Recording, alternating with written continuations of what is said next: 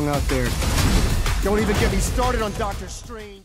Welcome back to my channel This is Love. I hope you are fine. Today I share the highly anticipated animated superhero film, Spider-Man Across the Spider-Verse is back with an electrifying new trailer featuring the fan favorite Spider-Man, Miles Morales, and his unlikely ally, Spider-Man 2099. The trailer starts with Miles Morales swinging through New York City, and he suddenly stumbles upon an interdimensional portal that takes him to a different universe. There, he meets the futuristic Spider-Man 2099, who warns him of a threat that could destroy all the different versions of the Spider-Verse. The trailer showcases stunning and colorful animation, paying homage to the comic book origins of the Spider-Man franchise. We see Miles Morales teaming up with various Spider people from different dimensions, including Spider-Gwen, Spider-Man Noir, and even a spider-powered T-Rex, affectionately dubbed Spider-Rex. The dynamic duo of Miles and Spider-Man 2099 set out on a dangerous journey across the multiverse to stop the threat and save the Spider-Verse. The trailer features an energetic and catchy soundtrack that sets the tone for the thrilling action-packed sequences with Miles Morales and Spider-Man 2099 battling various villains and facing challenges that test their limits. The film promises to deliver a fresh and exciting take on the beloved Spider-Man character with a diverse cast of characters and a unique storyline that explores the possibilities of the Spider-Verse. Spider-Man Across the Spider-Verse is set to hit theaters in 2023 and fans of the Spider-Man franchise cannot wait to witness this epic adventure unfold on the big screen. Love you bye if you like this video subscribe for more upcoming videos remember to subscribe and hit the bell.